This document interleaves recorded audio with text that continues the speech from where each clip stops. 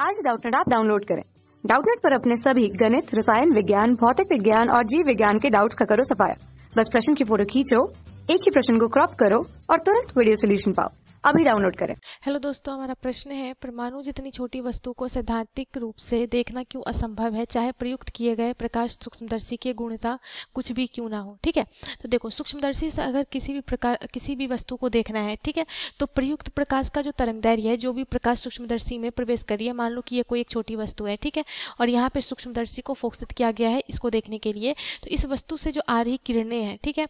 तो प्रकाश के तरंग दैर्य अगर लैमडा की बात करें, ठीक है? तो प्रकाश की तरंग दैर्य और वस्तु का जो साइज़ है, ठीक है, ये दोनों एक दूसरे के कोटि का होना चाहिए, ठीक है? मतलब किसी वस्तु को देखने के लिए सूक्ष्मदर्शी में प्रकाश का तरंग दैर्य वस्तु के साइज़ के तुल्य होना चाहिए, ठीक? अब अगर आप बात करो परमाणु स्पेक्ट्रम के, तभी आप क्या करोगे? देख पाओगे, अगर तरंग दैर्य के कोटि का अगर वस्तु का साइज़ रहेगा तो। अगर आप बात करो परमाणु स्पेक्ट्रम की भी ठीक है?